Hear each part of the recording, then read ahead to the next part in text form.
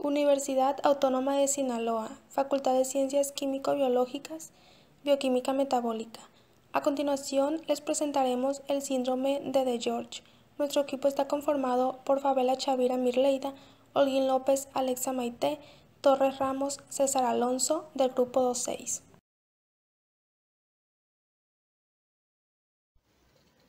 Antecedentes.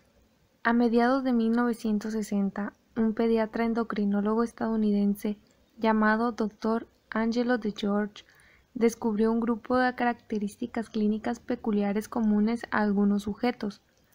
En 1981, Albert de la Chapelle encontró el defecto congénito concreto. Poco más de 50 años han pasado desde los primeros estudios de este síndrome, tan poco conocido y hoy considerado como la enfermedad rara. En la actualidad se sabe que es una enfermedad genética relacionada con una detección en el brazo largo del cromosoma 22 en su banda Q11. Síndrome de De George El síndrome de delección 22Q11 consiste en una agrupación variable de características fenotípicas secundarias a la pérdida del material genético localizado en la banda 22q11.2. Se trata de un síndrome pleidotrópico incluyendo alteraciones en los sistemas cardíaco e inmunológico, al igual que dificultades en el aprendizaje y malformaciones del paladar entre las afecciones más comunes. Está asociado con características fenotípicas craneofaciales en orejas, nariz, ojos y boca, hipoparatiroidismo y frecuentes infecciones debido a la falta de desarrollo o ausencia de linfocitos T. Dentro de la región crítica de delección del síndrome de George se encuentran varios genes, entre ellos el TBX1, que ha sido identificado como el mayor contribuyente al fenotipo. Existen, sin embargo, otras causas etiológicas poco frecuentes entre las cuales se desarrollan mutaciones puntuales en los genes TBX1 o en CHD7 y pacientes con exposición prenatal a isotretinoína o glicemia elevada.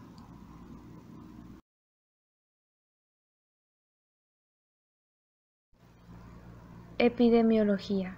La prevalencia mundial estimada está entre 1 de 2.000 y 1 de 4.000 nacidos vivos. El fenotipo clínico de este síndrome es extremadamente variable.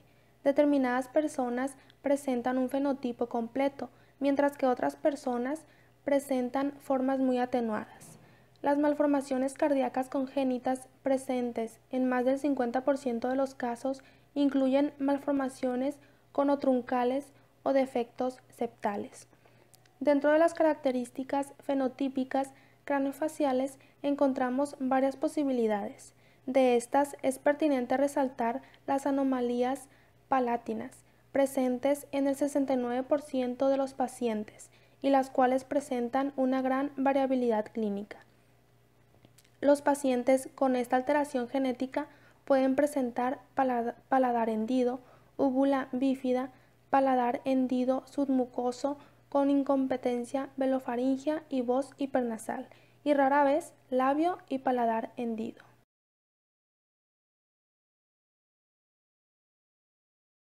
El tratamiento depende de las manifestaciones clínicas.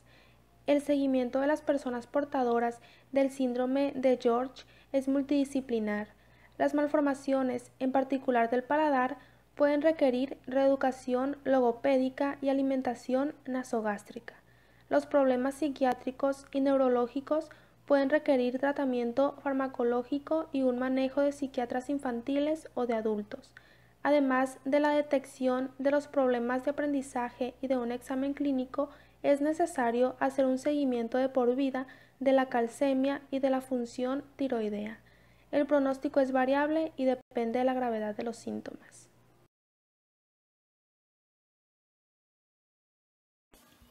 Signos y síntomas. El síndrome de DiGeorge tiene signos y síntomas que varían de un caso a otro. No es obligatorio que cada paciente presente problemas en los mismos órganos. Algunos órganos se ven afectados, pero en menor medida, y por lo general parecen normales.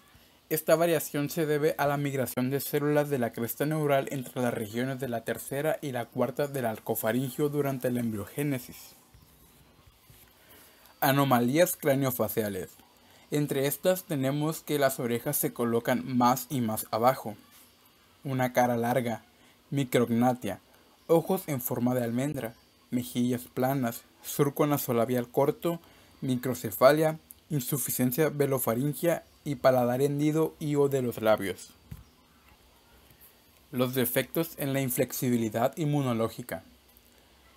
Tenemos linfocitos deficientes T, debido a la hipoplasia tímica, infecciones recurrentes y la ausencia del anticuerpo hipoglamaglobulinemia, posibles enfermedades autoinmunes como artritis reumatoide juvenil, púrpura trombocitopénica inmune y anemia hemolítica autoinmune.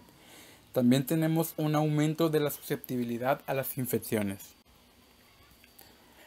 Los defectos cardíacos. El 75% de los pacientes poseen lo que se conoce la denominada tetralogía de Fallot, el cual es un grupo de cuatro anormalidades estructurales del corazón.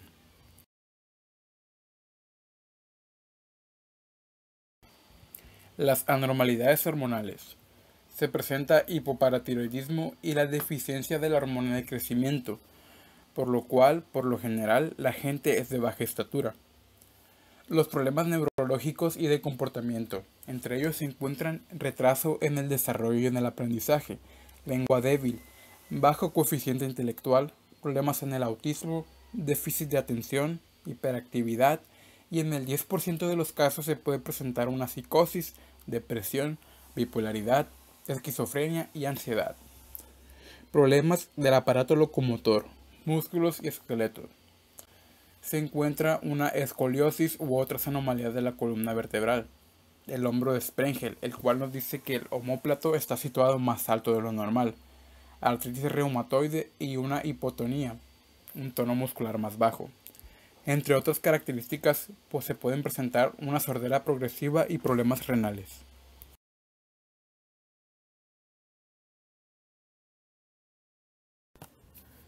¿Qué situaciones de discapacidad pueden derivarse de las manifestaciones de este síndrome?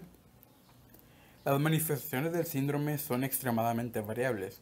Como ya se mencionó antes, no todas las personas afectadas se enfrentan al conjunto de manifestaciones ni a todas las situaciones de discapacidad que se mencionarán a continuación. Problemas de aprendizaje, trastorno por déficit de atención o con o sin hiperactividad. El retraso cognitivo debe detectarse precozmente y evaluarse. Requiere de un manejo educativo y reeducativo multidisciplinar y, si es necesario, de una escolaridad adaptada. Además, puede presentarse una discapacidad intelectual leve, siendo la discapacidad intelectual grave muy poco frecuente. El retraso del lenguaje es muy común. Por lo general, siguen las dificultades de locución relacionadas con las anomalías del velo palatino. Problemas de locución. Una disfunción del velo del paladar, posiblemente agravada por las anomalías anatómicas como lo son el paladar hendido, velo del paladar corto, úvula corta y bífida, conllevan frecuentemente a dificultades de locución, problemas en la articulación del lenguaje, como lo son las dificultades fonológicas y o la rinonalia, que es una voz hipernasal, requiere una reeducación logopédica y, en ocasiones, una intervención quirúrgica específica como la faringoplastia. La rinonalia puede hacer el habla ininteligible, con el consiguiente riesgo de sufrimiento psicológico y de aislamiento. Deficiencias auditivas.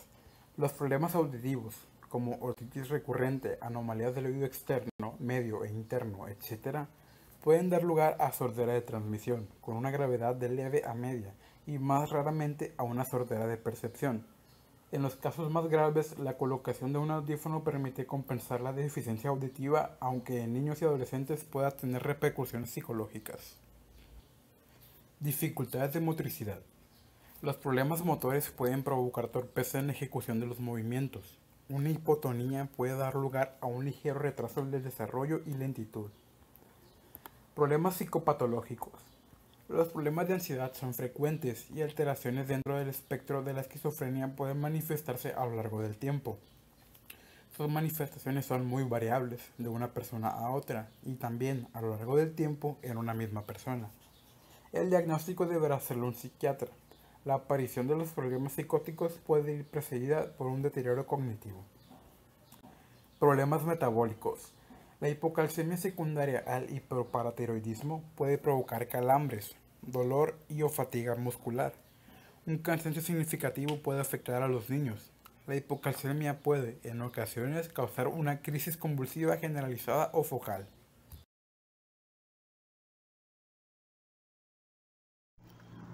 Diagnóstico molecular.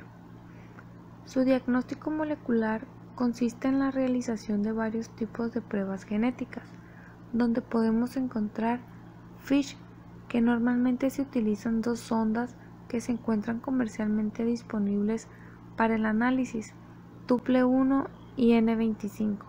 El único inconveniente de estas sondas es que no son lo suficientemente sensibles como para detectar delecciones pequeñas en 22Q11.2. MLPA, utilizando el kit P250, es posible detectar la delección típica y delecciones pequeñas. Es mucho más específica que el FISH. Otros métodos de diagnóstico también incluyen técnicas como RI, CGH y PCR cuantitativa.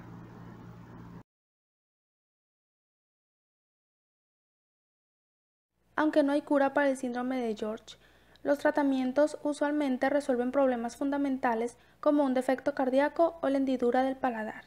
Otras cuestiones de salud y problemas de desarrollo, salud mental y conductuales pueden abordarse o controlarse según sea necesario. Los tratamientos y las terapias para este síndrome pueden comprender intervenciones para lo siguiente: hipoparatiroidismo, defectos cardíacos, funcionamiento limitado del timo, disfusión grave del timo, hendiduras del paladar, desarrollo general, cuidado de la salud mental y tratamiento de otras afecciones como problemas de alimentación o de crecimiento, problemas auditivos o visuales, entre otros.